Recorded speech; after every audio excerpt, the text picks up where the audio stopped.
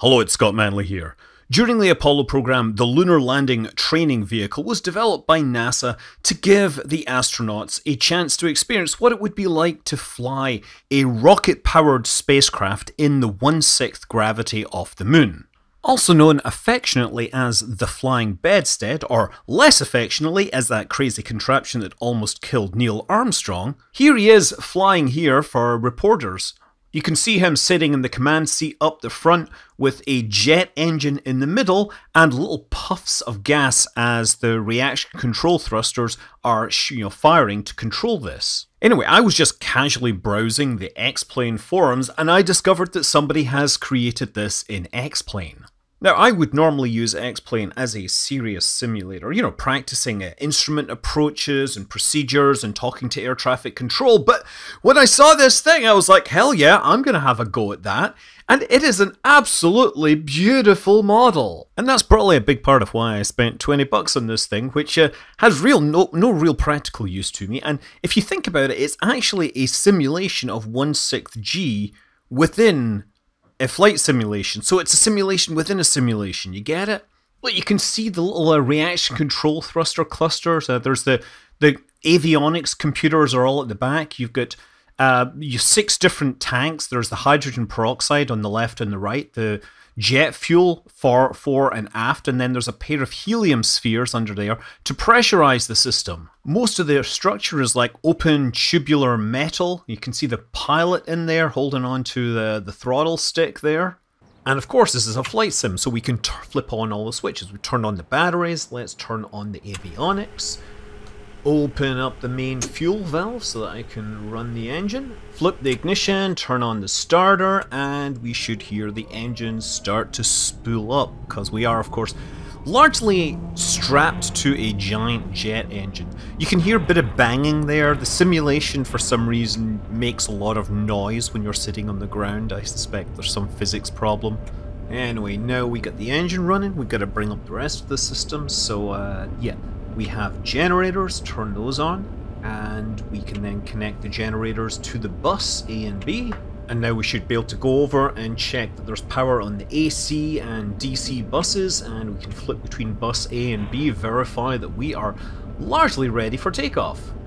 So now, as you can imagine, that involves throttling up that uh, engine, and as that thruster engine reaches power, it will begin to lift us up off the surface. And yeah, then the attitude is controlled using the stick on the right. So that's a three axis stick. It has pitch and roll, and it also has a twist to give you yaw control. Now, initially, I'm climbing it to altitude in what's called LLTV VTOL mode.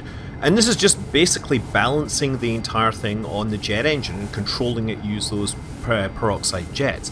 And while this is a great simulation of controlling like a rocket powered descent vehicle, the problem is, it's simulating at 1g, so if you roll 30 degrees off axis, you can accelerate sideways as if you are at 1g.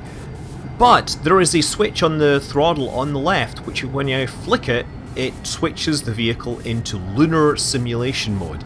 And in that mode, it will the, the rotation will only accelerate you sideways as if you were under lunar gravity, which is exactly what you want. And there's a lot of processing power that's going into doing this. So first of all, that jet engine, when you flick it into this lunar mode, it's now only generating 5 sixths of a G worth of thrust. The other 1 sixth has to come from the peroxide jets. So now I'm controlling this as if I'm flying, you know, a, a rocket system.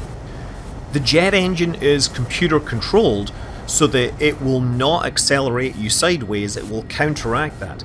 Also, there's a switch on the side which uh, enables uh, wind compensation, so that if there is wind that is blowing you around, it will try to counteract that, so that you can, you know, imagine what it's like on the airless vacuum of the moon, rather than the green grasses around this runway.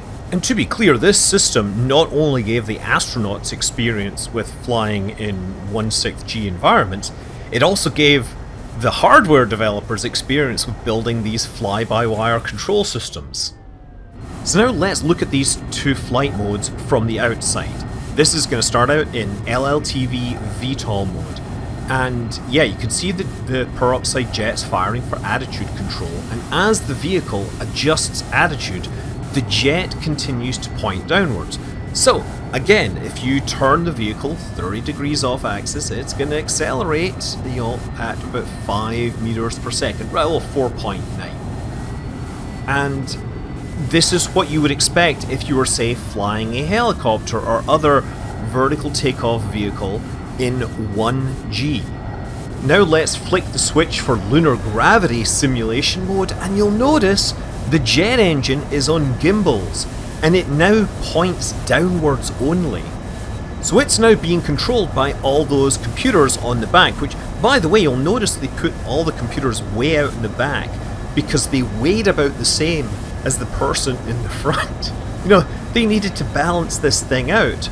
And yeah, so when you go off axis now, the jet engine doesn't follow you, so you don't pick up that lateral acceleration as if you are in one a 1G environment.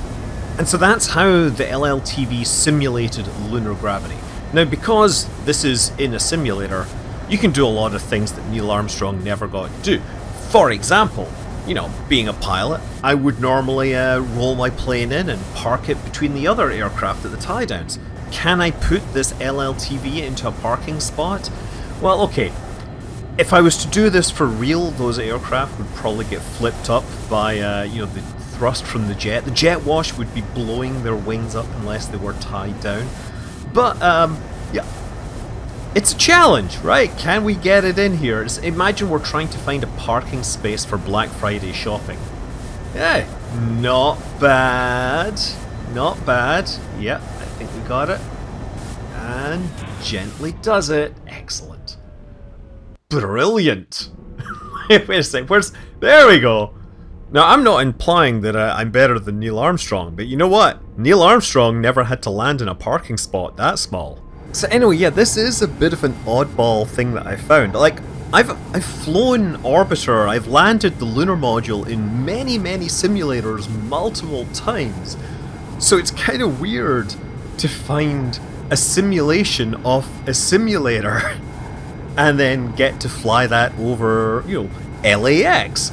Because it's in the simulation, why not?